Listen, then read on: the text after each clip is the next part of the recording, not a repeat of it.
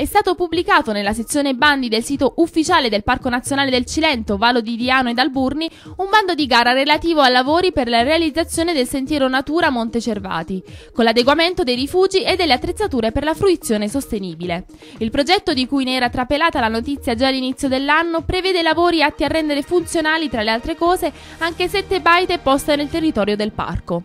Le offerte per partecipare alla gara di appalto dovranno pervenire entro le ore 12 del giorno 16 prossimo prossimo luglio. Per i lavori che saranno effettuati soprattutto nel territorio comunale di Sanza, l'importo stanziato è di circa 224.000 euro ma è proprio il sindaco di Sanza, De Mieri, che contattato in merito dalla nostra redazione ha avanzato un quesito. Ma non sarebbe più appropriato rafforzare e mettere in sicurezza le infrastrutture già presenti sul territorio per renderlo più fruibile? Il sindaco fa riferimento alla strada che conduce al Monte Cervati, per la quale ha richiesto da tempo un finanziamento anche alla regione Campania.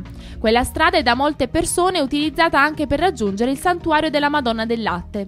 Sarebbe almeno una consolazione per la cittadina di Sanza e per i diversi appassionati delle bellezze naturali del Cervati, visto che ormai possiamo definire caduto nel dimenticato il megaprogetto di circa 50 milioni di euro, che prevedeva la realizzazione di moderni impianti sciistici sulla vetta più alta della regione Campania. Il nostro territorio, ha dichiarato il sindaco dei Mieri, è ricco di bellezze che stimolano la progettualità, la quale però non può trovare nessuna forma realizzativa se prima non vengono finanziate le infrastrutture necessarie a poter rendere accessibili a tutti posti meravigliosi come ad esempio il Monte Cervati.